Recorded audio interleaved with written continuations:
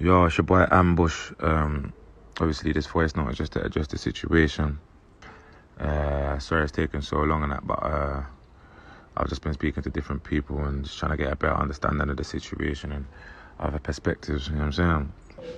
Obviously, I tried to contact Ray yesterday, but uh, I don't think she's trying to hear it right now. So, yeah, and that's understandable. But um, yeah, so I just thought I'd come on here and be open and honest and just let everybody know what's going on.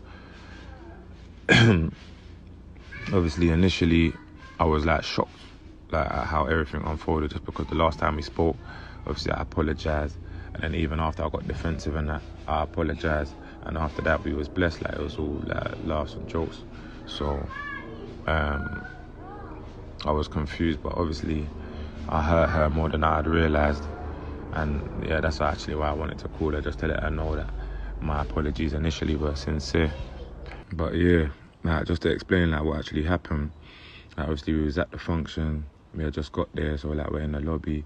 Obviously, there's bare people around, and I seen her, and I've complimented her on how she was looking and and what she was wearing. You feel me? So, but in in doing so, that I, I was inappropriate and, and I was invasive with my actions, you feel me? So for that I do apologize, but I definitely want to stress that I never grabbed her body or acted aggressively in any way, you feel me?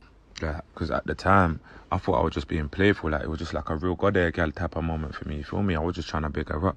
So when she messaged me, I apologized straight away because like I know my intentions were never to make her feel violated or uncomfortable. You know what I'm saying? Like I'm the type of guy that if I saw a girl getting violated, I would step in. You feel me? But where I was looking at it, like real, like all I did was brush her with my finger. Like I was just responding in a way like where she shouldn't be mad, but in you know, in, in, in reality, touching her in any type of way is invasive and insensitive, regardless of how, how it went. You feel me? So the way she felt was legit. But even being honest with myself, listening back to them voice notes, I just sound stupid. You know what I'm saying? Like all she was trying to do was make me know the error of my ways, and, and, and she's right. You feel me? But yeah, I just want to say like us as guys, like we do things without realizing we're violating, and like we need to become more aware of like the female experience. You know what I'm saying? This whole thing has been a humbling experience for me, and I'm definitely still learning and growing.